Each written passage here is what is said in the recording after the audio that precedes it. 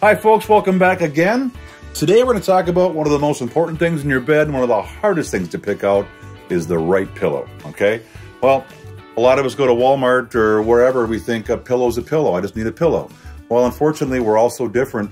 The pillows are very unique. They, uh, all of us have different needs depending how we sleep. Are you a back sleeper? Are you a side sleeper? Are you a stomach sleeper? Now, what I've got in front of me is a latex pillow and the type of pillow we find anywhere, a polyfill pillow, all right? And I think this is the best way to show you the difference. This is a 15 pound weight. Now, when I put this on a latex pillow, look at that, pushing back, supporting that weight.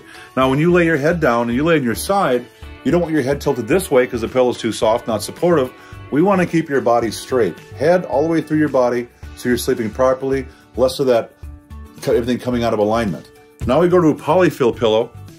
Big difference here, folks. Hear that? There is no support there. We sink through that. And the warmer that gets throughout the night, the more that compresses, and they don't last very long.